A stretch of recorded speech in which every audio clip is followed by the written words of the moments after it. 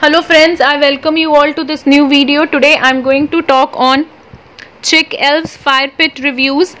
Well guys this video will help you know whether the website i'm talking about is legit or scam if you have not purchased anything from this website. This video of mine will help you decide the answer to your question. Should i buy anything from this site or not?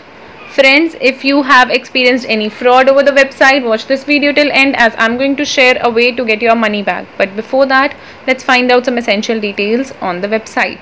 Here you can see the collection list of the website. It's a long collection list. You will find a lot of products including the fire pit which i'm talking about all the featured products include gardening products household sale multifunctional stainless steel basins and many such products. You can buy some items for Halloween's like holograph projection and 3D skull cake mold. So all these products are available at a quite reasonable price price as you can see in the picture. All the products are listed at a very low prices guys most of the products have also received 5 star rating as they have shown here in the picture. Moving further talking about the shipping information well they are providing shipping worldwide and their mode of payment is paypal. Also you can see that they have not mentioned much details about the shipping delivery and timing on the web page of their moving further guys i will talk about the legitimacy checkpoints because it is important before you make your final decision of buying from any new website.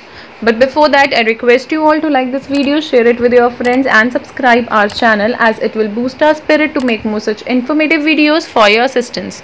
Well moving further I will tell you that this website has a proper HTTPS connection which means your payment details and your own personal information will be secured but this doesn't make any website legit. Moving further and talking about the age of the website well guys this website is only 28 days old as it was registered. The website chicelves.com has been registered on 15th september 2020 talking about the about us page guys i will show you that they have least important information mentioned on their about us page. The identity of the owner is not revealed which creates lot of doubt in the mind of the reader. Moving further and talking about the contact us details you will find here in the contact us page that they have only mentioned their email address which is support at the rate related doubt dot com which is again a dubious one. Also they have they are missing the phone number and return address detail which again creates doubt that where to return the product. Moving further and talking about the social media presence well guys they do not have social media presence at all.